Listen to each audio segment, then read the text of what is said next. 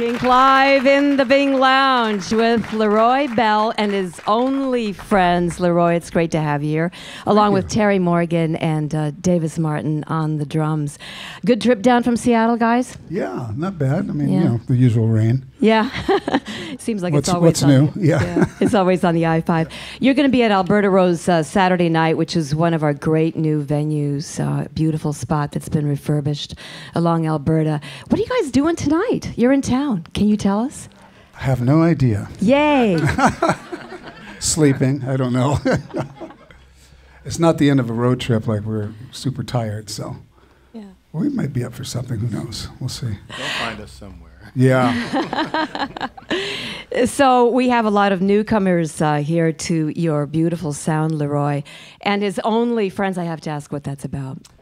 you know, we were uh, we were down in San Francisco playing uh, opening for um, Roberta Flack a few years ago, and we kept trying to come up with names, and she had, it was like Roberta Flack and friends, and uh, and we were just trying to make jokes, and some, we were saying, and his how about his lonely friends or his homely friends or somebody came up with his only friends, and we went, hey, there it is. I don't remember who it was, so.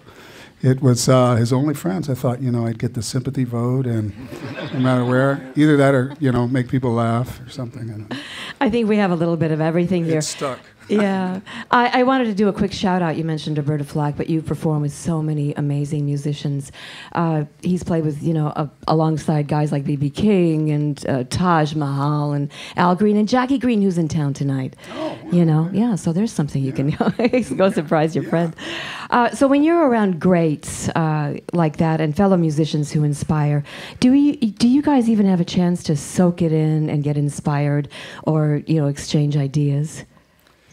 We don't exchange that many ideas. It's fun watching them because you always learn something, you know, from some of the veterans. And um, we get to meet and hang out with some of them. We've spent some time with BB King and heard some great stories that we can't mention here on TV. and um, about the good old days. Uh, and uh, a lot of other people that we've We had a good time with Richie Havens a couple years yeah, ago. we did.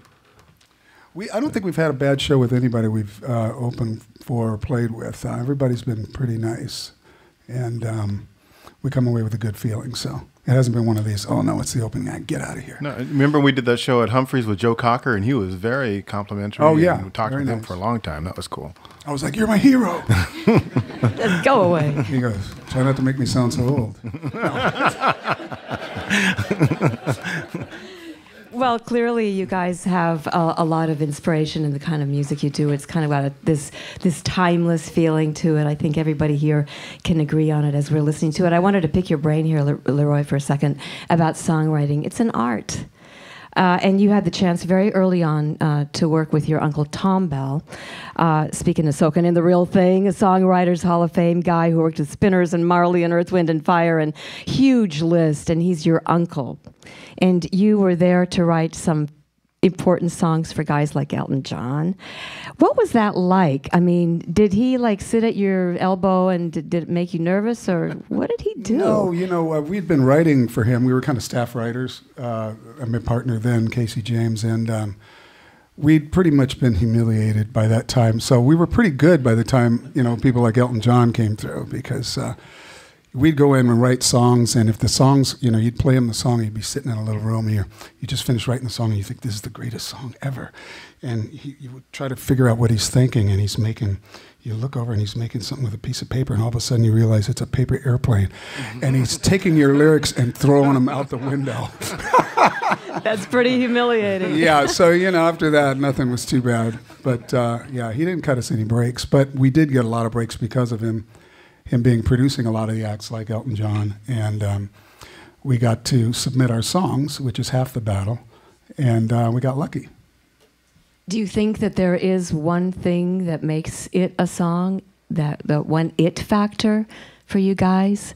I don't think there is an it factor. I think you, I've heard that you can't write a hit song. You can only write a good song because a hit song depends on so many other things: timing, who's putting the song out, you know, where the where the audience is at the time when the song comes out. It, there's so many other factors that you can't control.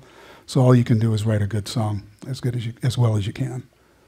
Well, I think we should hear some more songs. Oh, thank you. LeRoy Bell and his Only Friends. Thank you.